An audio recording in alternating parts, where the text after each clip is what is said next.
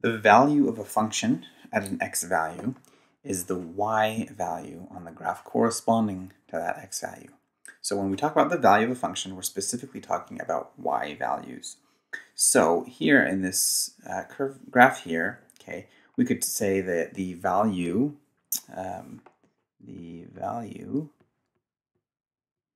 at, uh, at say 2, uh, or maybe we'll say at 0, okay, the value at 0, uh, this is an x value right here. All right, this is x value um, is, and then you go to that x value and say, oh, well, we're down here at this point right here.